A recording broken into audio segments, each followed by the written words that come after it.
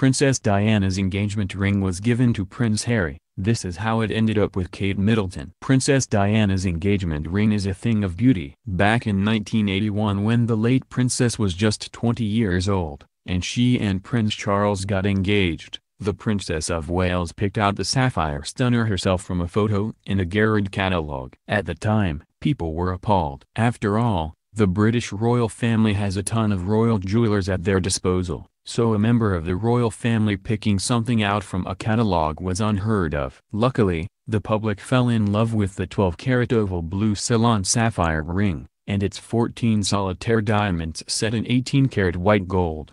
Even after she and Prince Charles separated, the princess still wore her ring until they officially divorced in 1996. When Prince William proposed to his longtime love, Duchess Kate Middleton back in 2010, he did so with his mother's ring. However, when the Princess of Wales died tragically in 1997, her ring was actually given to Prince Harry, so why is it on Kate Middleton's finger and not Duchess Meghan Markle's?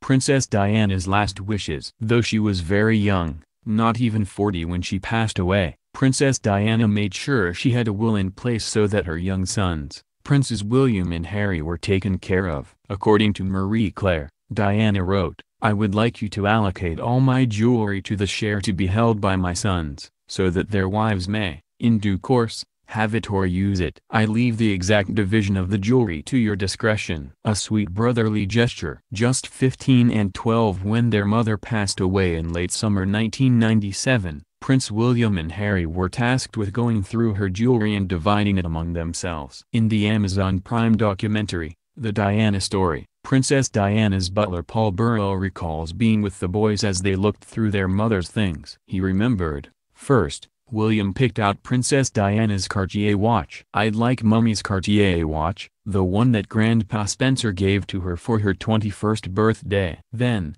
Harry said he'd like Diana's blue engagement ring. I remember when I held Mummy's hand when I was a small boy, and that ring always hurt me because it was so big. Meeting Kate When Prince William decided to propose to his college sweetheart Kate Middleton in 2010, Prince Harry was all for it. The Duchess had been around the royals for years, and the red-headed prince had grown to love her like the sister he'd never had. As the brothers began to discuss an engagement ring for Middleton, Prince Harry suggested Princess Diana's ring. He said, wouldn't it be fitting if she had Mummy's ring? Then one day that ring will be sat on the throne of England. Back in 2010, Prince Harry was still on and off with his ex-girlfriend Chelsy Davy, and he didn't see marriage on the horizon. With his brother in line to become the King of England, he wanted to make sure his mother's legacy remained in a significant way. The older prince kept the ring in his backpack for three weeks while exploring Mount Kenya with Middleton in 2010, before finally popping the question.